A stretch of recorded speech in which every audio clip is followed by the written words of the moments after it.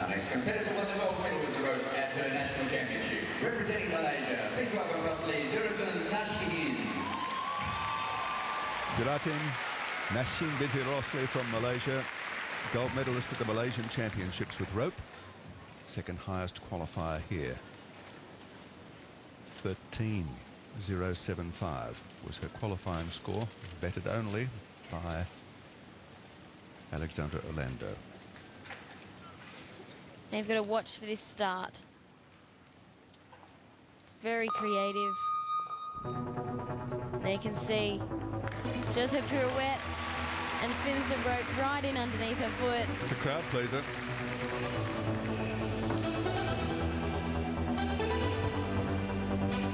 Trajete, great catch around her neck.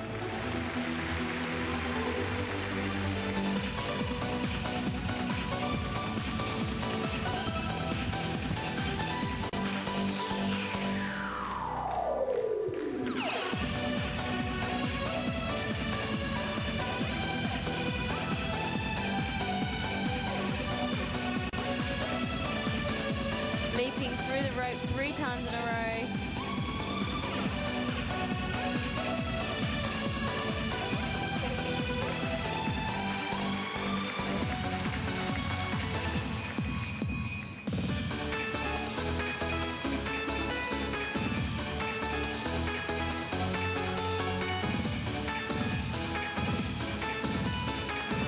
Yet another good catch. That's three catches around her neck.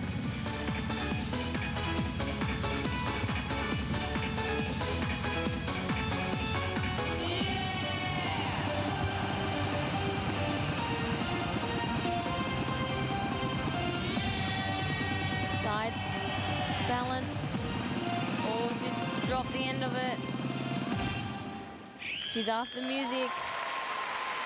Costly. Hopefully not too costly that'll put her out of the medals. Well, it's certainly going to open the door to a possible silver medal finish for Jana Tsikaridze of Canada, who currently leads the competition on 12.5 with the top qualifier, fellow Canadian Orlando, still to come.